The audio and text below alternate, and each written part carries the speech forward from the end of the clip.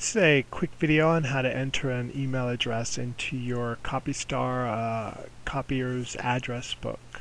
Um, the machine will need to be connected to the network and you will need to know the IP address of your copier. Once you know the IP address, just go to a computer, any computer doesn't really matter. Open up a web browser.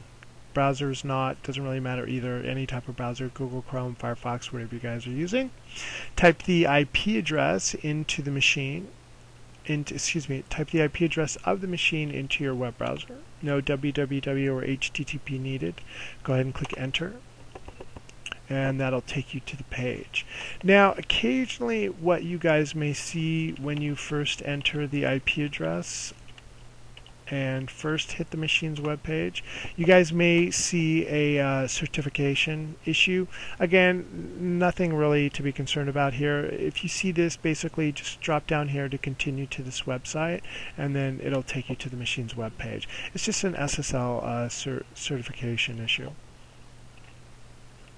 Once we are on the machine's web page, what we can do is on the left-hand side, we're going to go ahead and click Address Book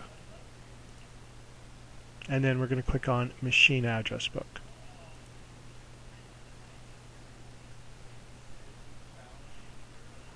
Depending upon your network, if you've got a lot of traffic on it, it may take a little bit of time to refresh.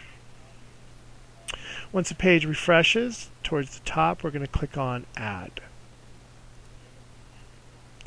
basically there's two areas only in this uh, on this page that we essentially have to fill out and that's going to be the name and that's going to be the email address. So the name is going to be some sort of friendly name that you guys are comfortable with uh, showing up on the front control panel of the machine. And again it can be named whatever you want just as long as you guys are comfortable with it and as long as the user understands that friendly name will be their email address. For today's test I'm just going to name uh, just put test in there. Oopsie and then after we enter the name we'd enter the user email address